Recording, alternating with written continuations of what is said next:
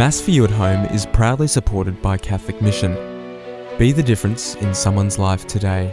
Phone 1800 257 296 or visit catholicmission.org.au.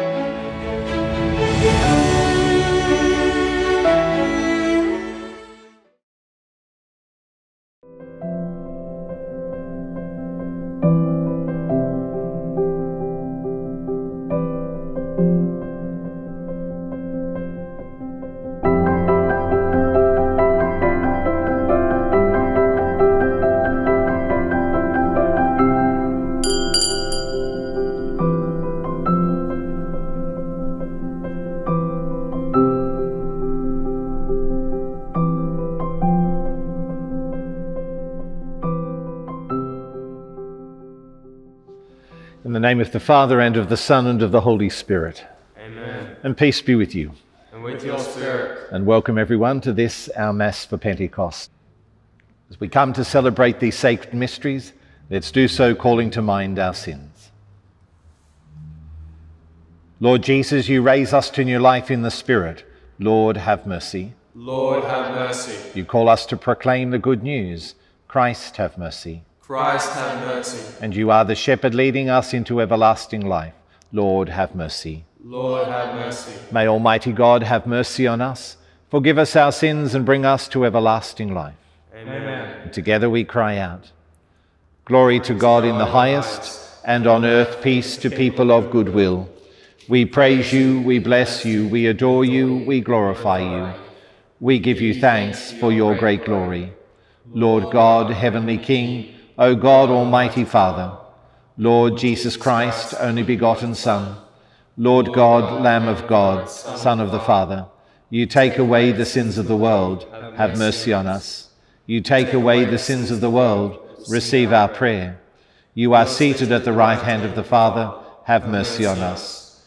For you alone are the Holy One, you alone are the Lord, you alone are the Most High, Jesus Christ, with the Holy Spirit, in the glory of God the Father. Amen. And let us pray. O God, who by the mystery of today's great feast sanctify your whole church in every people and nation, pour out, we pray, the gifts of the Holy Spirit across the face of the earth. And with the divine grace that was at work when the gospel was first proclaimed, fill now once more the hearts of believers through our Lord Jesus Christ, your Son, who lives and reigns with you in the unity of the Holy Spirit, God for ever and ever. Amen.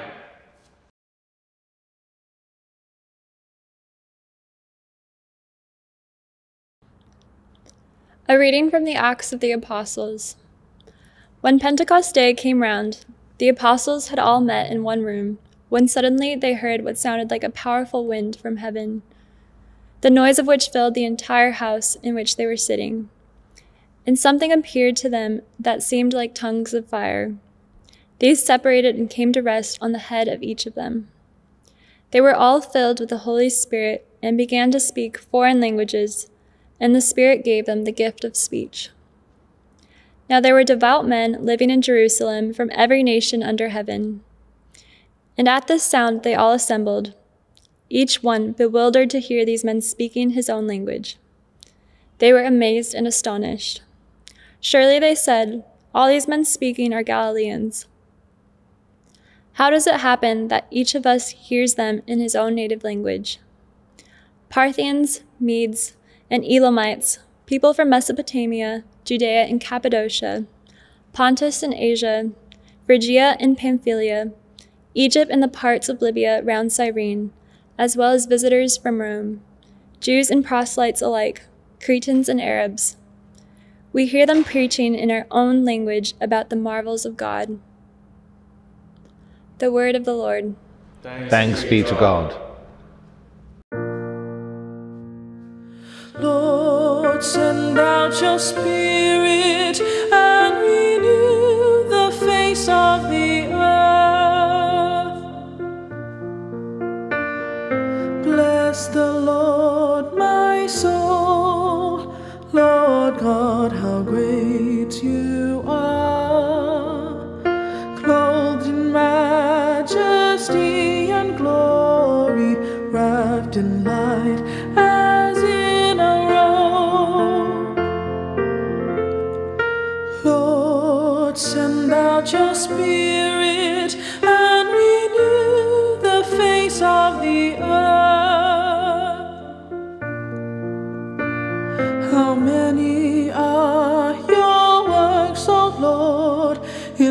wisdom you have made them all.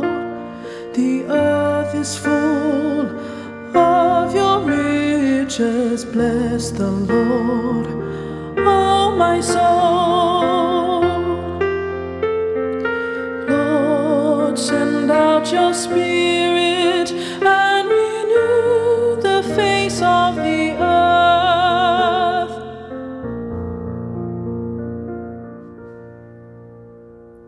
reading from the first letter of St. Paul to the Corinthians.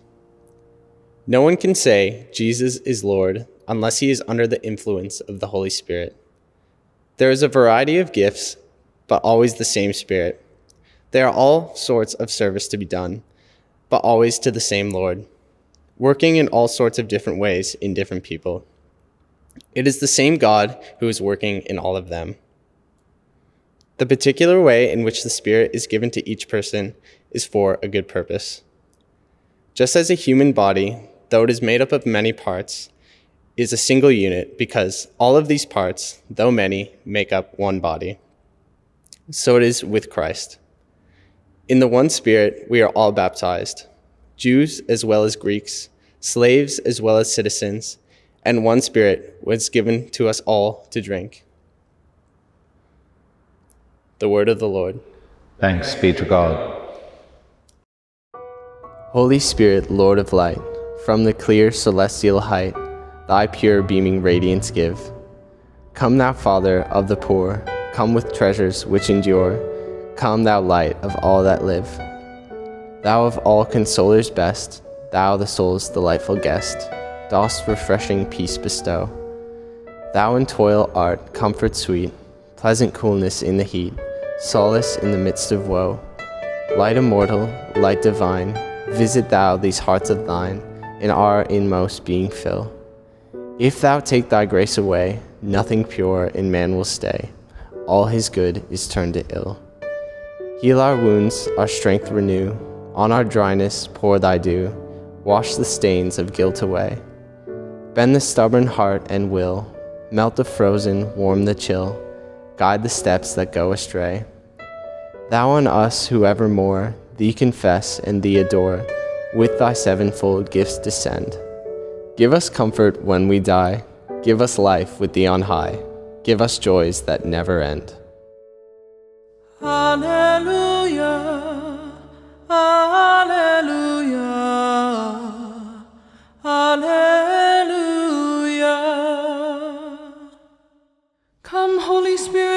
The hearts of your faithful and kindle in them the fire of your love. Alleluia, Alleluia, Alleluia.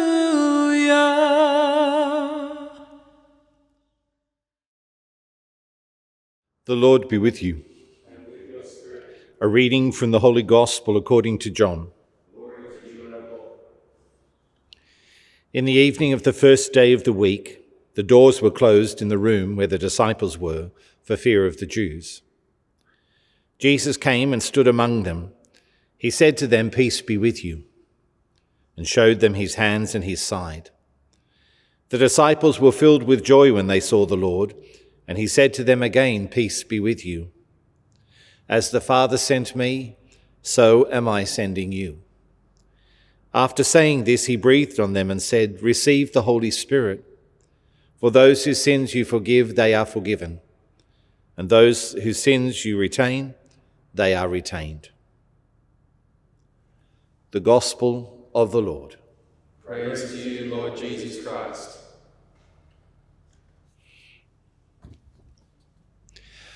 Most people know the name Helen Keller, but how many remember the name Annie Sullivan? Annie Sullivan was the woman who taught Helen how to communicate. It was Annie who broke through the barrier that had isolated Helen from the world. Annie found a language that Helen can understand. When we hear the first reading of today's liturgy and how people were surprised to understand the disciples proclaiming the message in a language they could understand, our thoughts go automatically to the spoken word.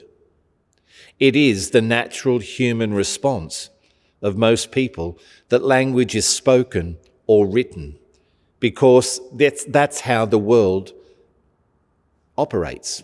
It's the world in which we dwell. The very word language evokes this meaning for most of us. But language actually takes many forms. The deaf community in Australia do not sign in English. They have their own language, Auslan, that can be translated into English, that we understand, but it has its own structure and its own methods. Language comes in many other forms body language or tone of voice. Something said in jest and received as such may be heard and received by another as sarcasm or insult. Simple gestures like touching the hand of someone grieving or pulling away from another person can convey much more than an hour's chatter. What happened on that Pentecost day, we will never really know. Luke's account of the event is a way of putting into written language things too difficult to explain, just as Jesus used parables when he was preaching. What matters is that people began not just to hear about the risen Christ, but to actually experience him in their own language, not necessarily spoken, but in the sincerity of those telling the good news. At the end of this Eucharist, we are sent, driven out by the Spirit, to proclaim the good news. And for that news to be understood and received, it must first be spoken in a form that can be understood by those to whom it is proclaimed. The infant will receive the good news in ways that they don't even understand. The child or teenager it is proclaimed by words, by things, by the ability to stand with them and assuring them of their worth. To the bully, it is proclaimed by words of challenge. But whatever means the good news, it will always be better proclaimed by actions. It will always be comprehended by others because it is spoken in a language they understand, the language of acceptance, compassion, and respect. If the good news is not being received as it was on Pentecost, it's never the failure of the hearers, it's our failure. It's our failure to proclaim it in ways that people will understand, in what we do and what we say. People joined the disciples not because they were great linguists, but because of the authentic life of those who proclaimed the message. They joined because they experienced their own Annie Sullivan, who spoke the word in a language that meant something to them. We, driven, anointed, and afire with the Spirit, are to be like Annie Sullivan to those we meet. We are to be disciples proclaiming good news.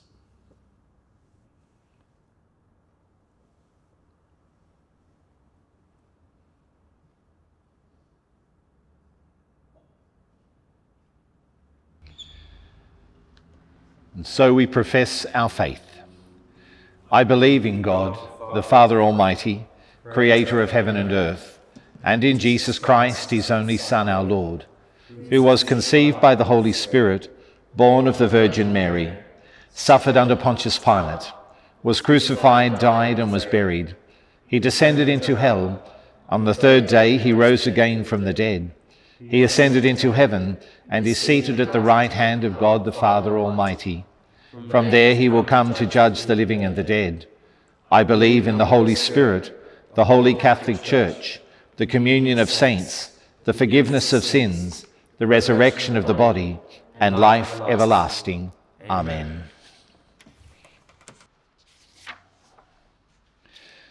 My sisters and brothers, renewed by the promise of the Spirit, let us ask God to hear our prayers for those in need. That those who hunger for spiritual meaning will have their hearts opened by the Spirit of wisdom and understanding. In the Spirit we pray. Lord, hear our prayer. That Christians will work to become one in the body of Christ. In the Spirit we pray. Lord, hear our prayer. That the sick will be comforted by Christ's peace. In the Spirit we pray. Lord, hear our prayer. God of glory, you have fashioned the world with your creative spirit. Hear our prayers and continue to pour forth your abundant gifts as we conclude this festival of the resurrection. And we make our prayer through Christ our Lord. Amen.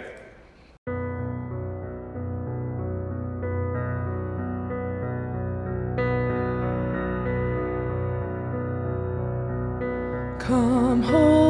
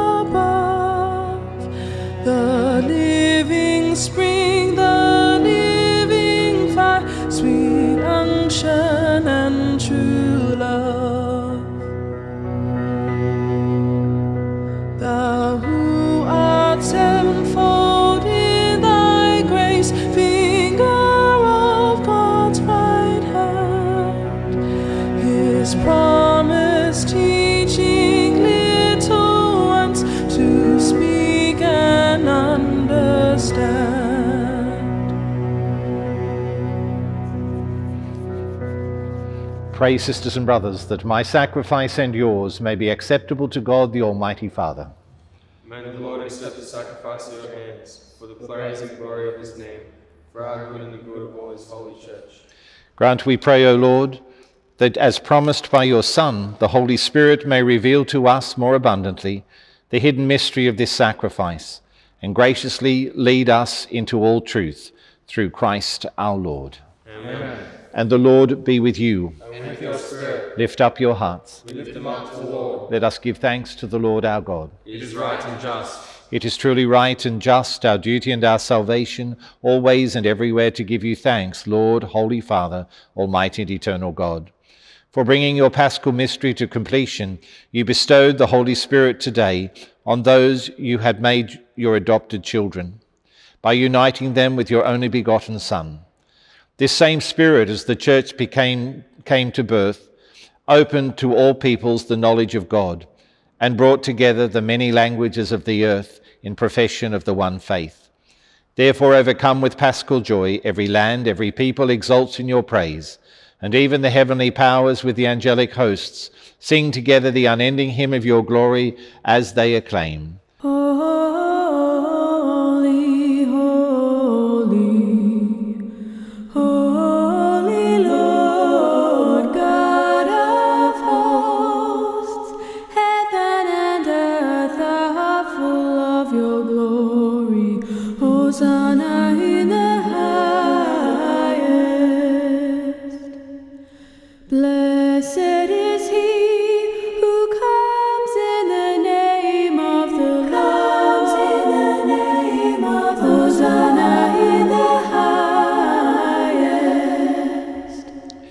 You are indeed holy, O Lord, the fount of all holiness. Make holy, therefore, these gifts, we pray, by sending down your Spirit upon them like the dew fall, so that they may become for us the body and blood of our Lord Jesus Christ.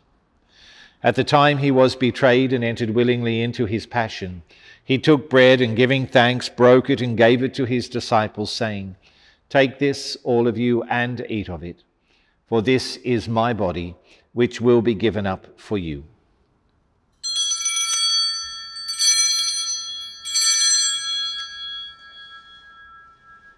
In a similar way, when supper was ended, he took the chalice, and once more giving thanks, he gave it to his disciples, saying, Take this, all of you, and drink from it, for this is the chalice of my blood, the blood of the new and eternal covenant, which will be poured out for you and for many for the forgiveness of sins. Do this in memory of me.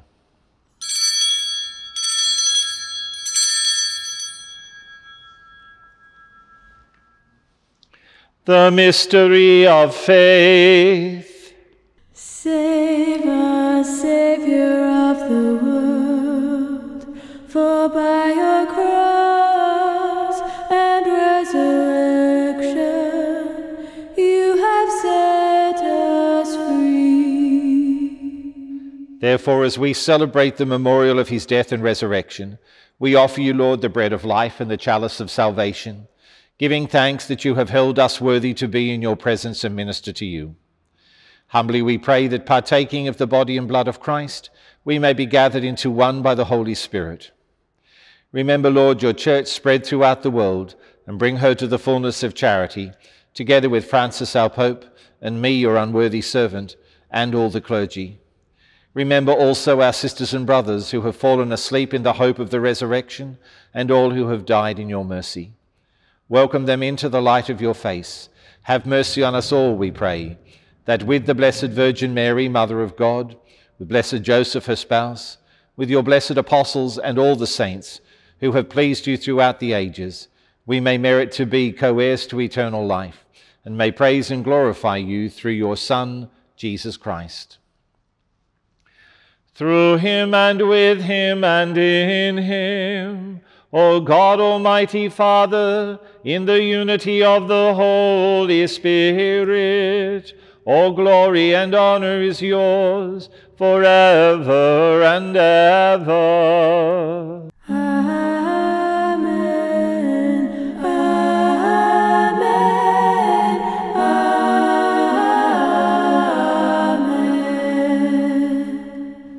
And at the Saviour's command, and formed by divine teaching, we have the courage to pray. Our Father, who art in heaven, hallowed be thy name. Thy kingdom come, thy will be done on earth as it is in heaven.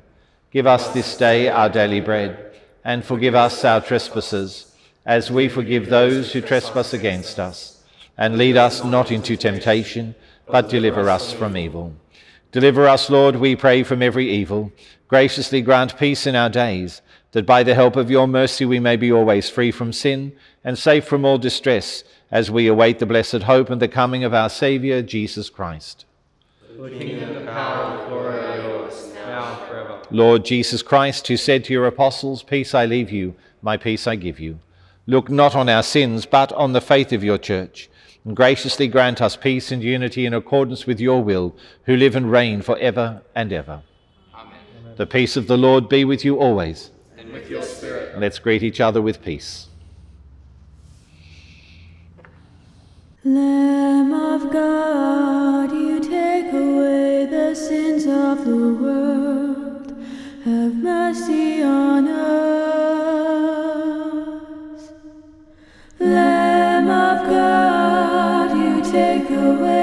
Sins of the world.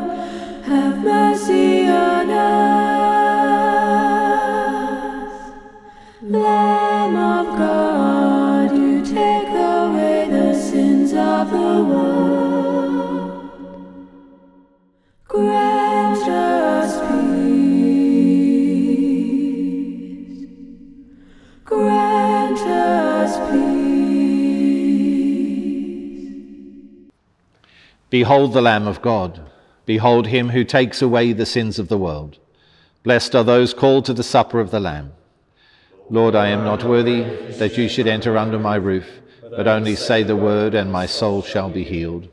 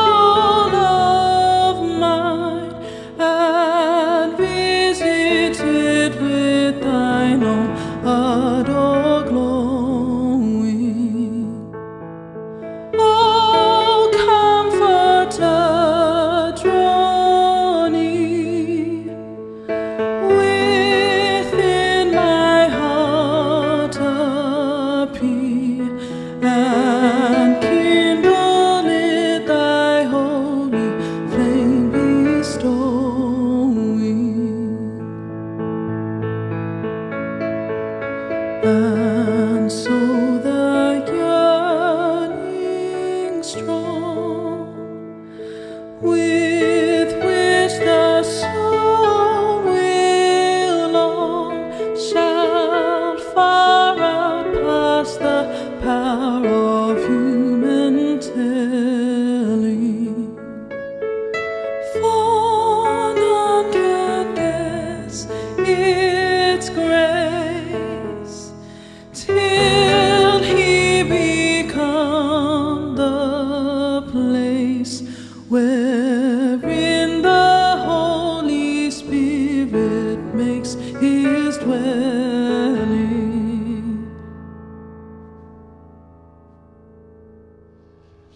us pray. O God, you who bestow heavenly gifts upon your church, safeguard, we pray, the grace you have given, that the gift of the Holy Spirit poured out upon her may retain all its force, and that this spiritual food may gain her abundance of eternal redemption through Christ our Lord.